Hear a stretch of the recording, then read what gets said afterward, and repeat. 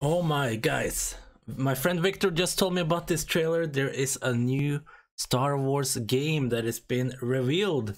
Star Wars Squadrons. It's gonna be a multiplayer Star Wars game.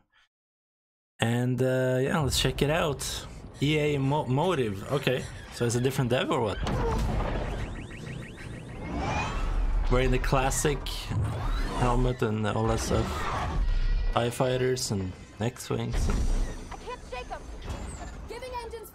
Graphics looking great, like all Star Wars games have been. Woo! Look at look at those space graphics. Oh, you got through. Oh, and you got fucked. Haha. now, if this is just a space battle game, how is progression gonna be, and all that? Because nobody really played the space mode in Battlefront 2. But a dedicated game could be really cool. We do not accept defeat. It could be a story mode. This could be a story mode. Remember why we fly. For hope. For the new republic. Vengeance will be ours. I'm very excited about info on this game.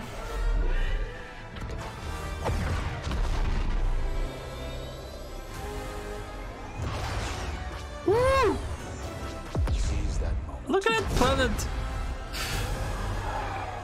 The music! When the perfect Epic! Boom! shot makes history. Probably one of the game modes right there. Take down the other person's fleet! Or One team. squadron. The galaxy's finest. Look at those guys! It's Ace Combat but Star Wars! Woo! Big fleet!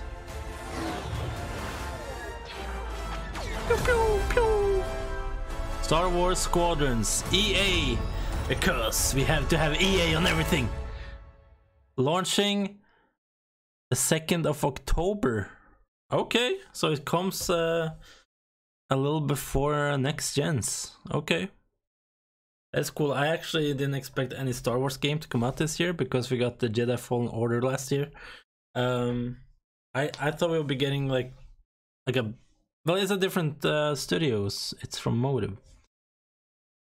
I haven't heard about Motive before. Let's check what they have done. Motive Game Company. Oh wait, they made Star Wars? Battlefront 2? Wait, they've been working all of it. But okay, they weren't the main devs though. Are they the main main devs for this one? I, I'm not sure. But anyways, it looks fucking cool, and I hope it's better than the Star Wars Battlefront 2 um, space uh, mode because it was pretty shit to be honest. And um, yeah, having a whole game based around that, maybe unlocking um, different gear for your, you know, X-wings and Tie fighters and all the other stuff could be really cool if they have that. And uh, it looks like you might be able to customize the character. There's like all kind of different people. I don't know. Looks fucking cool. I am excited to see uh, more of it. But um, yeah, needs to have a lot to it to be you know not repetitive, not die right away because like the latest Ace Combat they made was pretty boring. seemed like an Xbox 360 game, didn't feel right on the next gens, and it kind of feel like this is gonna be Star Wars's um, fly only game. But yeah, hope you guys enjoyed. You guys enjoyed this reaction video. Leave a comment. Thanks for watching. I'm Ken signing out. Peace.